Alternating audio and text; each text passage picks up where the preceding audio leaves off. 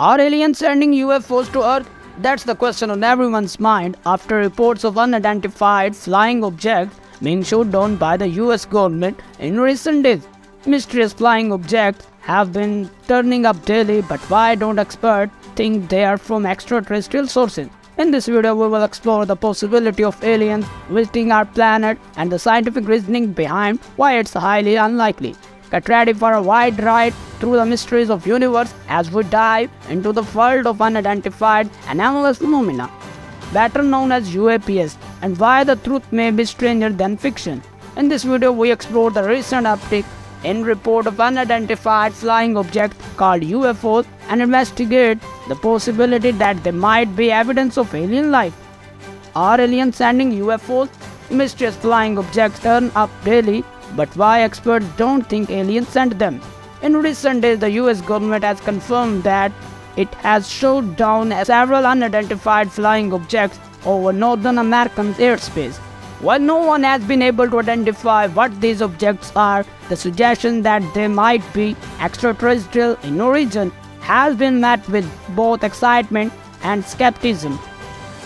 Some have suggested that the increasing number of reports of UFO sightings in recent years is evidence that aliens are visiting us. However, experts are quick to point out that just because something is unidentified does not mean it is evidence of alien life.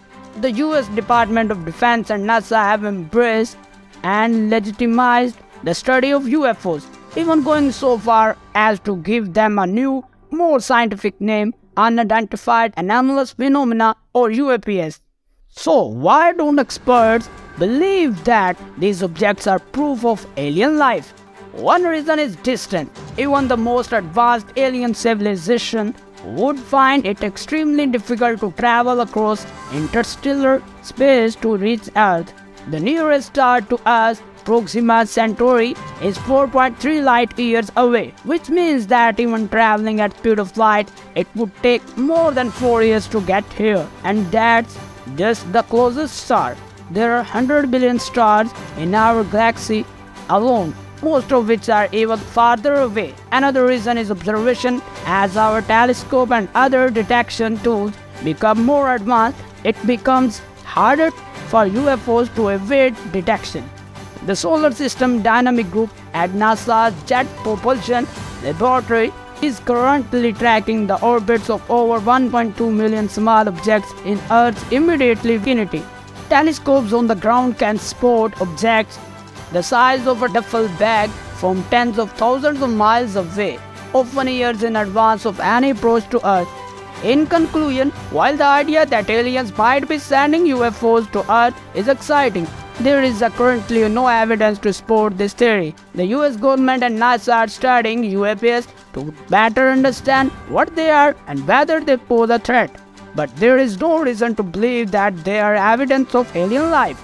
So the next time you see a UFO, it's probably best to assume that it's just another unidentified anomalous phenomena rather than an extraterrestrial visitor. Thanks for watching and don't forget to like, share and subscribe